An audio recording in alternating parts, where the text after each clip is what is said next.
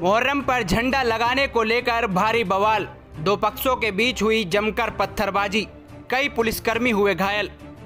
ज़िले के मब्बी थाना क्षेत्र के शिवधारा स्थित बाज़ार समिति के चौक पर मुहर्रम में झंडा लगाने को लेकर दो पक्षों के बीच विवाद हो गया। देखते ही देखते पूरा क्षेत्र रणभूमि में तब्दील हो गया। एक पक्ष ने दूसरे पक्ष पर पत्थरबाजी शुरू कर दी, जिसे देख दूसरे पक्ष के लोग भी पत्थरबाजी करने लगे। जिसमें आधे दर्जन से ज़्यादा पुलिसकर्मी को भी चोटें आई हैं। वहीं पत्थरबाजी की घटना में सड़क के किनारे खड़े कई वाहन भी क्षतिग्रस्त हो गए हैं। घटना की सूचना मिलते नगर पुलिस अधीक्षक के नेतृत्व में भारी संख्या में पुलिस बल मौके पर पहुंचकर स्थिति को नियंत्रित किया। मामले की गंभीरता को देखते हुए जिलाधिकारी राजीव रोशन और एसएसपी अवकाश कुमार खुद घटनास्थल पर पहुंचकर मॉनिटरिंग कर रहे हैं। मौके पर पहुँचे वरीय पुलिस अधीक्षक अवकाश कुमार ने कहा कि शिवधारा में मुहर्रम का झंडा लगाने को लेकर दो पक्षों में विवाद हुआ है।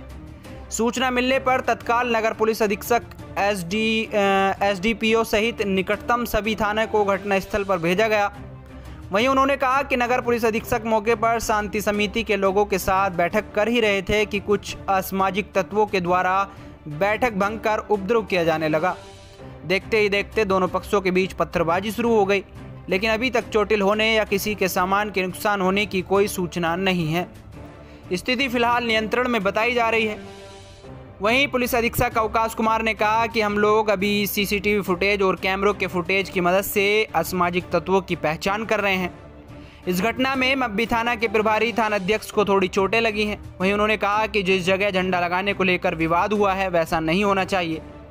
झंडा लगाने से किसी की भावना आहत नहीं होती है। उपद्रवियों की पहचान की जा रही है। यहाँ पर पहले भी रामनवमी के मौके पर भी झंडा लगाने को लेकर विवाद हुआ था, जिसे सुलझा लिया गया था। हम लोग मामले की अनुसंधान कर रहे हैं और दोषियों के खिलाफ कड़ी से कड़ी कार्रवाई करेंगे।